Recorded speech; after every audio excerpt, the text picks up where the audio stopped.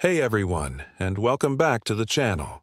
Today, we're taking a quick dive into the world of military tech with a truly iconic weapon. The Tomahawk Missile. Now, it might look pretty unassuming, about 18 feet long and weighing in at 3,500 pounds, but don't let its modest appearance fool you. This thing is a marvel of precision and versatility. It cruises at a swift 550 miles per hour, but here's the kicker. It can travel up to a thousand miles, hugging the ground at super low altitudes.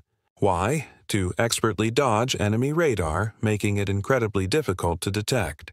Originally conceived in the 1970s to safely target Soviet installations, the Tomahawk has continually evolved. Even today, it stands as one of the most advanced land attack missiles on the planet. Its accuracy and reach are just mind blowing.